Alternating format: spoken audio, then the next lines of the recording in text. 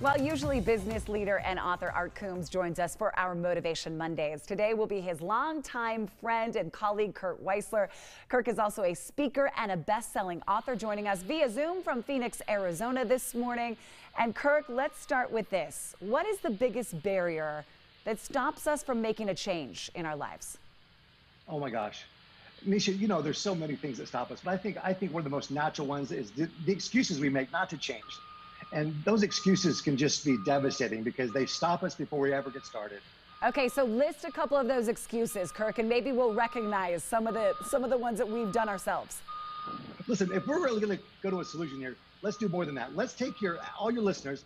I want I want to ask them and you and myself as I as I list the, the foundational excuses. Listen for one of one or two of your top two, and then we'll see if we can put together an action plan. So here they are. These are from Art Coombs' wonderful book, Hard Easy, where he has this whole chapter on excuses don't change results. So here they are 11. We're going to count down like David Letterman. I want to change, but I can't. Uh, number two, I'm only human. Number three is the nature versus nurture argument. You know, it's just the way that I am. Um, number four, I don't have the time or the money to change. Number five, I'm not ready to change. Number six, I, I, I just don't know how to change. Number seven, what if I try to change but I fail? Kind of that why try. Number eight, it's not going to work because nothing ever works for me. Again, coming back to that why try, so we don't even make the effort. Um, I don't want to change, and it's I don't really need to change anyway. If other people would change, I wouldn't have to change, right? It's all about other people, not about me. All right. Number ten, I'm too old, or I'm too young to change. And number eleven, um, change is important. I know I need to, and I'll start that tomorrow.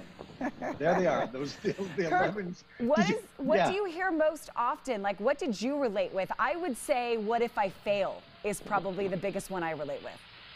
Yeah, I, I, I, I love that. I'm really close on that, but I'm just right above it, number six. I'm like, I'm not really sure. I know I need to change, but I'm not sure how to go about that in this relationship with my wife or this relationship with my teenagers. I'm, I'm not really sure.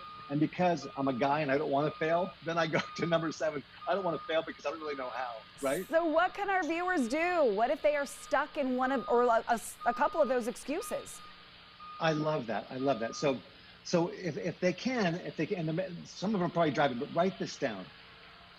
People make excuses or they make a difference, right? People make excuses or they make a difference. I choose to make a difference. The first thing is listen to those 11 own own yours like a beast. Like you you so you're so vulnerable you said I'm, I'm, number seven. What if i fail?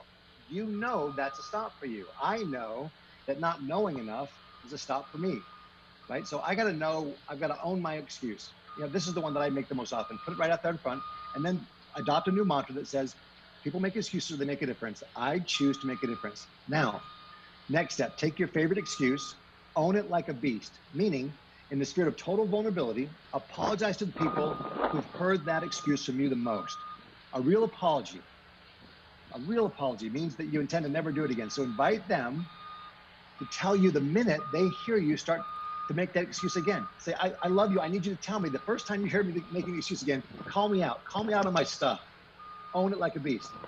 Promise them that if they will do this, you won't be mad or angry. Instead, you'll buy them lunch. You'll give them a hug and a kiss because their act of loving accountability, and accountability is an act of love, right? And while you and I might not love being held accountable in the moment, we will love the feeling that we get when we start to make a change instead of an excuse.